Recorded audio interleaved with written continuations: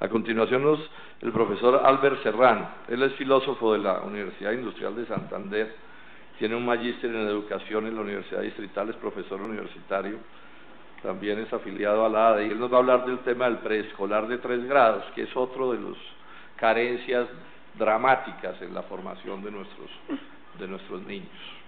Profesor, siga usted. Senador Jorge Enrique Robledo, muy buenos días y a todos los asistentes a esta audiencia aquí en el Congreso de la República y a quienes nos están siguiendo a través de Internet y de la televisión pública colombiana. Efectivamente, voy a tratar de hablar de la educación preescolar en Colombia, pero empecemos detallando qué es la educación preescolar y está definida en la Ley General de Educación, principalmente en el artículo 15 de esta ley. La educación preescolar corresponde a la ofrecida al niño para su desarrollo integral en los aspectos biológicos, cognitivos, psicomotriz, socioafectivo, entre otros aspectos. Y entonces esta educación preescolar tiene unos objetivos.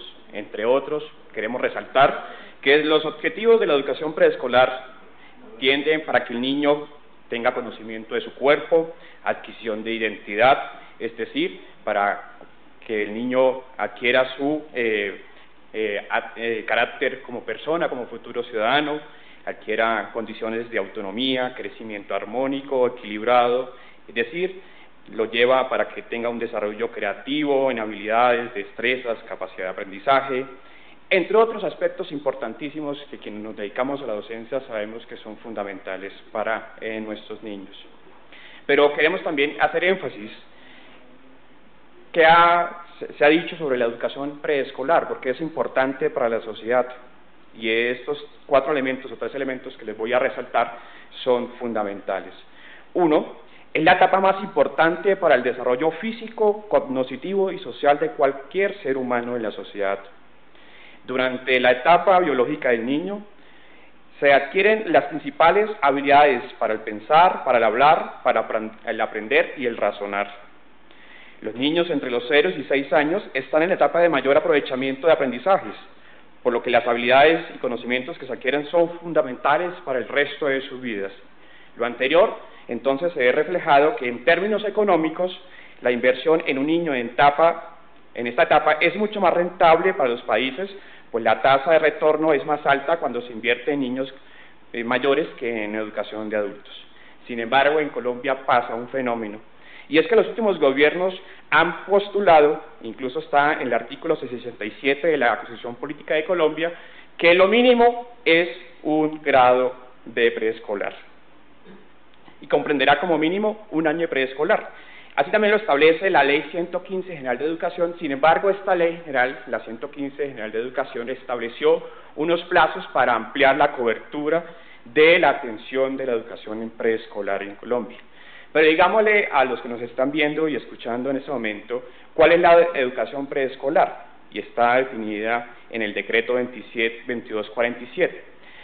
Es la educación que se imparte a los niños entre los 3 a los 5 años de edad y esta consiste en tres grados principalmente. Prejardín, que va dirigido a los niños de 3 años de edad, jardín a los niños de 4 años de edad y transición a los niños de 5 edad.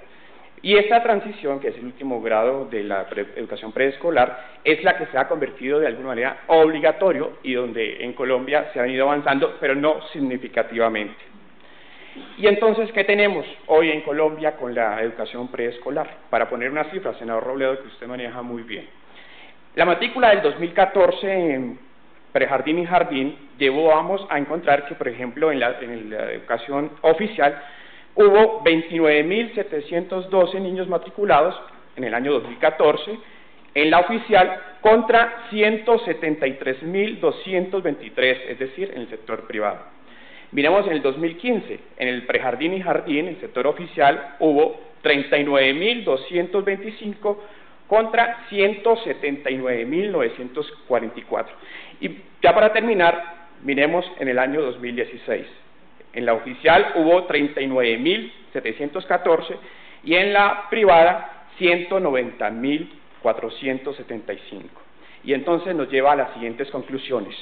El gobierno nacional no ha cumplido con el mandato de la ley 115 de ampliar la oferta educativa en educación preescolar.